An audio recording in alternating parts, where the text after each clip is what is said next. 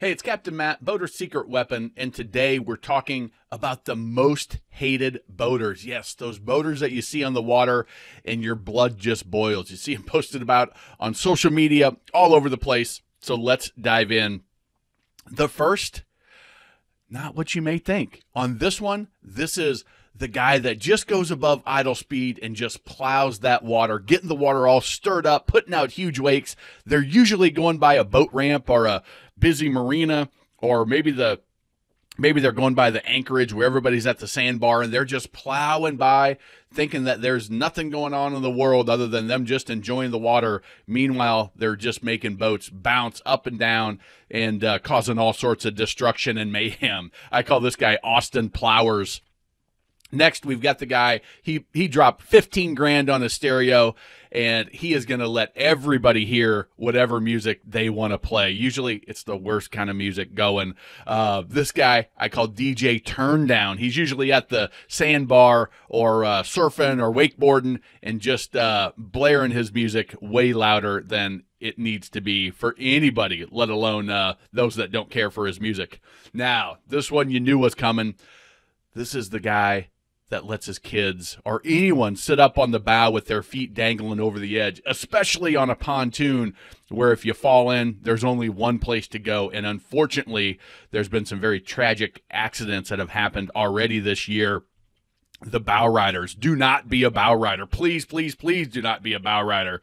Then we've got this guy. You've seen him running down the lake, running down the intercoastal, and they always have the brightest LED lights. That's the one upgrade they made on their boat is to get the brightest lights possible. And they think their headlights, I call him at least I can see guy because all he cares about is, hey, it's too dark. I can't see. Meanwhile, he's got every other light on in his boat, which is ruining his night vision. So he turns his docking lights on and now he ruins everybody else's night vision. Keep those docking lights off. Don't be at least I can see guy.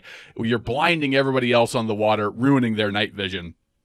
Same thing at the boat ramp. This one, this one may be just a I don't know type situation, but you're leaving your headlights and your high beams on at the boat ramp. Well, the guy next to you, as they're backing down the ramp, guess what?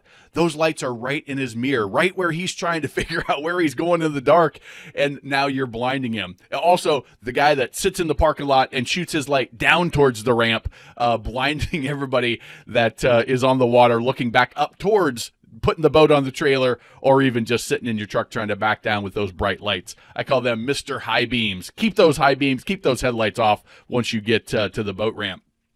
Of course, there's another boat ramp one. You knew these people. You've seen them. You've been frustrated by them.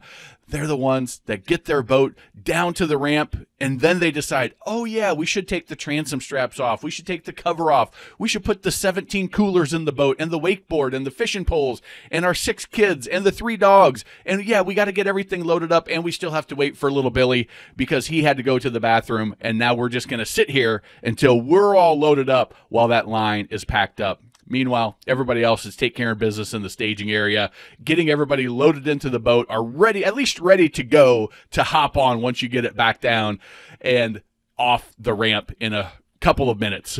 this gun I call oblivious at the boat ramp. Just in their own little world, not paying any attention to to the delay they're causing everybody else and the backup at the boat ramp on a Saturday is already crazy busy. Now you may have noticed this person at the sandbar, uh, you know, at the anchorage at the island. They pull their boat up, they hop off, and they go start partying. Meanwhile, their boat starts drifting. The tide starts going out. Their boat starts getting getting stuck on on the sandbar. Uh, their anchor loses hold and now they're just kind of floating around and the owner of the boat is nowhere to be found. I call him Captain Invisible, making everybody else worry about his boat from running into theirs or causing mayhem and mischief or just floating away completely or getting stuck on the sandbar. Do not be Captain Invisible. If you're going to go party, great, but make sure you pay attention. Keep an eye on your boat. It's nobody else's responsibility but yours. Now, this guy you go, you find a perfect little cove, you're anchoring out, having a good time.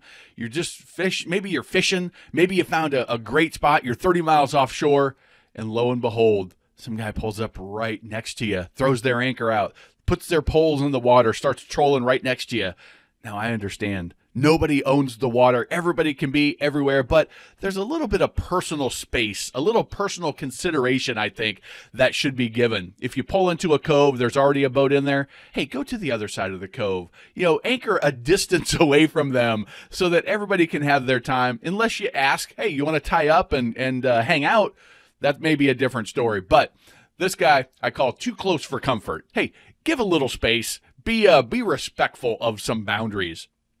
And then, of course, you knew this was coming. I want to hear what you call this person. This is the guy, the boat. Usually it's a jet ski. They cut right behind you and they want to jump your wake. All they care about is getting to that wake, getting as high and as far and as sending it as be- best they can.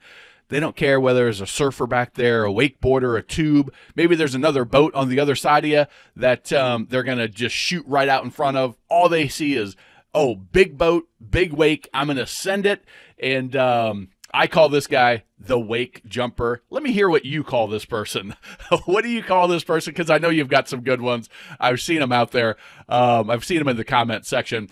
If you're new to boating, check out the Boater Bootcamp. It's a three part video series. You can get it for free at boaterbootcamp.com. Uh, go check that out. It's tremendously valuable if you're a new boat owner. You'll be glad you did it. Um, if you are struggling handling your boat, putting in the dock, uh, check out bestboatcaptainonthewater.com. That program is incredible. It's helped hundreds and hundreds and hundreds and hundreds of people um, handle their boat with confidence. If you trailer and you struggle with that, trailer like a pro, whether it's getting on the ramp, off the ramp, the boat on the trailer, off the trailer, uh, that trailer like a pro will fix that problem for you. And remember, life truly is better on a boat.